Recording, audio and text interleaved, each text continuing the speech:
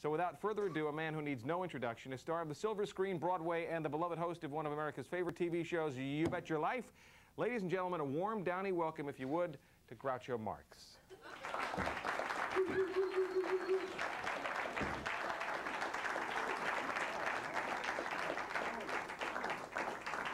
Wait a minute, wait, is that your boyfriend?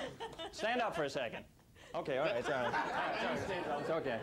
Well, how are you there, Mort? You look good. Groucho, how are you? Say the magic word and a duck comes down. Sit down. Boy, Morton, you got A great one. Oh, W.C. Fields was a great guy. He, you know, he used to have a lot of liquor in his cellar.